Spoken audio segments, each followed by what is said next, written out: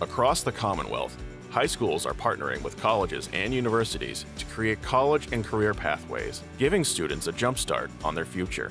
I always thought that after high school I wouldn't have the opportunity to further my education.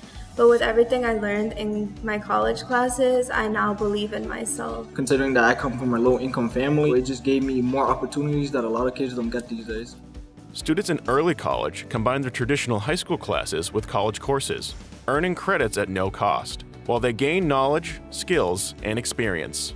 Early college meant to me a new opportunity. I'm going to be the first person in my family to go to college. Early college makes going to college a lot more affordable.